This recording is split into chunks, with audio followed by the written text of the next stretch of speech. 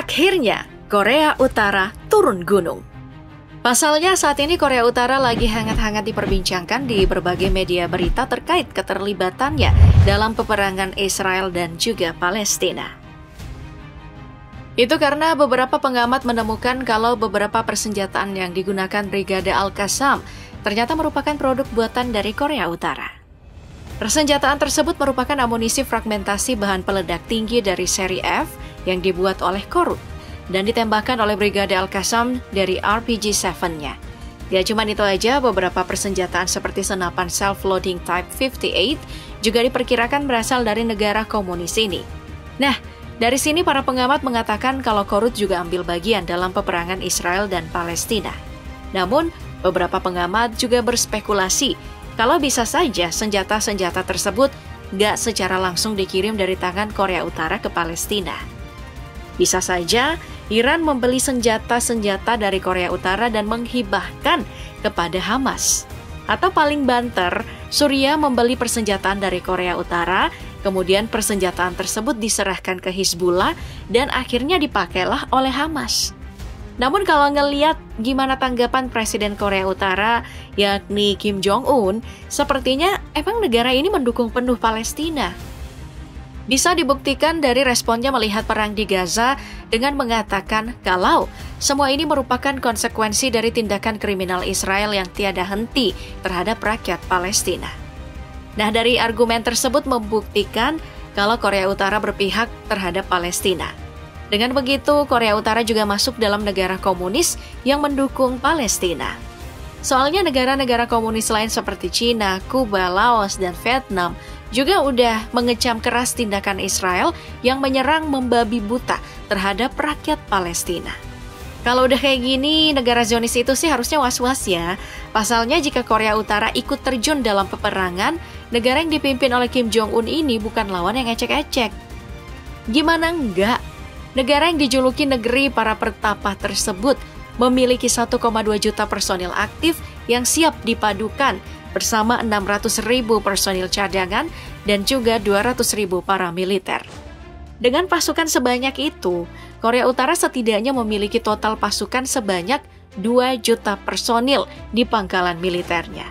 Bahkan, harusnya Israel sadar kalau Korea Utara ini berada di peringkat keempat sebagai negara yang memiliki pasukan terbanyak di dunia. Apalagi Israel harusnya sadar betul kalau mereka cuma memiliki total pasukan sebanyak 646 ribu personil. Nah, kalau sampai Korea Utara turun, negara Israel bakal dikepung dengan 2 juta personil milik negara komunis ini.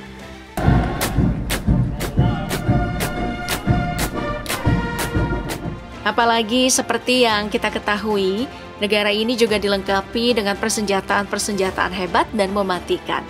Persenjataan-persenjataan tersebut meliputi 2.920 unit artileri roket yang ditemani 5.000 unit artileri manual. Dan gak lupa pula 5.000 unit artileri otomatis siap untuk dikerahkan.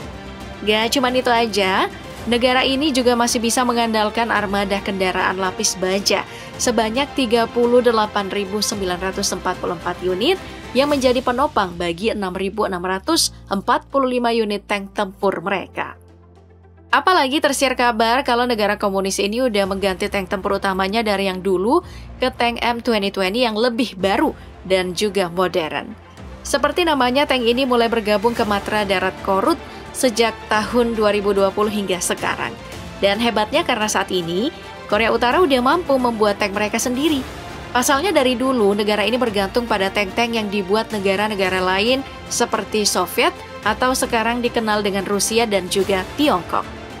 Namun sebelum hadirnya M2020 ini, negara yang dipimpin oleh Kim Jong-un memakai tank yang dibuat oleh Rusia. Mulai dari tank T-62 hingga tank T-72 kesayangan Rusia. Namun di era sekarang, Korea Utara udah berkembang lebih pesat di sektor persenjataan. Bahkan tank M2020 ini disebut-sebut memiliki percampuran desain antara M1 Abrams dari Amerika dan juga T-14 Armata dari Rusia. Apalagi meriam smoothbore-nya ini dipasok dari Rusia dengan nama kode meriam 2A46 berukuran kaliber 125 mm. Namun hal yang gak biasa dari tank ini adalah Korut berhasil menyematkan dua buah rudal anti-tank yang siap menembus lapisan baja pada tank lawan. Bisa dibilang penyematan rudal di sebuah tank itu cukup luar biasa untuk era sekarang. Jadinya sebuah tank gak akan bertumpu sama kekuatan meriam aja, tapi juga bisa dipadukan dengan serangan rudal anti-tanknya. Hebatnya lagi karena tank tersebut masih menyimpan persenjataan berupa senapan mesin berkaliber 7,62 mm. Tapi untuk urusan jeroan, M2020 masih belum terbongkar. Namun yang pasti tank ini digerakkan dengan mesin diesel yang memiliki tenaga sebesar 1200 tenaga kuda. Memang harus diakui ya perkembangan persenjataan Korea Utara bahkan bisa menyamai Amerika Serikat. Jadi kalau hanya untuk menandingi Israel, kayaknya bukan hal yang sulit.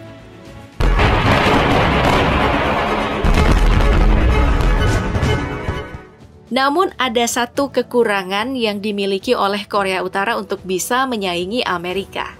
Yap, persenjataan lengkap di matra lautnya. Itu karena matra laut negara ini, mereka sama sekali nggak memiliki satupun kapal induk ataupun kapal serang amfibi. Alhasil, titik kelemahan dari negara ini udah jelas di sektor laut. Tapi meskipun mereka nggak punya kapal induk, tapi negara ini masih menyimpan satu unit kapal fregat yang ditemani dengan empat unit kapal corvette serta satu unit kapal penyapu ranjau. Gak hanya itu aja, Kim Jong-un juga masih diperkuat dengan 169 unit kapal patroli hingga 35 unit kapal selam. Nah, kebetulan baru-baru ini Kim Jong-un baru aja meresmikan kapal selam terbaru miliknya nih yang bernama Kim Kun Ok 841 atau 841.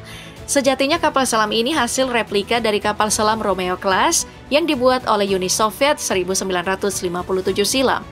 Jadi, kemungkinan beberapa spesifikasi dari Kim Kun Ok 841 ini sedikitnya menyerupai Romeo Class. Kalau emang benar, diperkirakan kapal selam ini panjangnya 76,6 meter dan lebar mencapai 6,7 meter. Dengan ukuran segitu, kapal selam ini mampu membawa 64 awak kapal ke dasar laut. Selain itu ya, kapal selam buatan Korut ini juga mampu melaju ke kecepatan maksimum 24 km per jam. Namun karena kapal selam ini udah bertenaga reaktor nuklir, jadinya jangkauannya udah nggak terbatas lagi. Sementara untuk persenjataannya, kapal selam ini mengalami peningkatan dari yang tadinya hanya 8 tabung torpedo, sekarang menggunakan 10 tabung torpedo.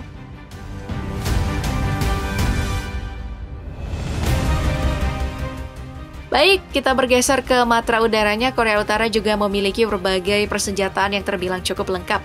Pasalnya di pangkalan militernya ini, para personil bakal membawa 20 unit helikopter serang bersama 205 unit helikopter biasa. Gak cuma itu aja, mereka bakal manfaatin satu unit pesawat kargo militer buat mengangkut jutaan personilnya yang akan dikawal dengan 114 unit pesawat serang dan juga 458 unit jet tempur. Nah, di deretan jet tempurnya ini, Korut kebanyakan membeli dari Rusia dan juga Cina. Namun yang paling hebat itu udah pasti asal Rusia ya, yang bernama Mikoyan MiG-29. Itu karena jet ini mampu melaju di kecepatan maksimum 2450 km per jam dan mampu beroperasi hingga di jarak 2100 km. Gak cuma itu aja sih, jet ini juga mampu terbang setinggi 59.000 kaki di udara. Sementara untuk urusan persenjataan, MiG-29 dibekali senapan mesin 30 mm yang ditemani berbagai jenis roket, rudal target udara hingga bom untuk menyerang di daratan.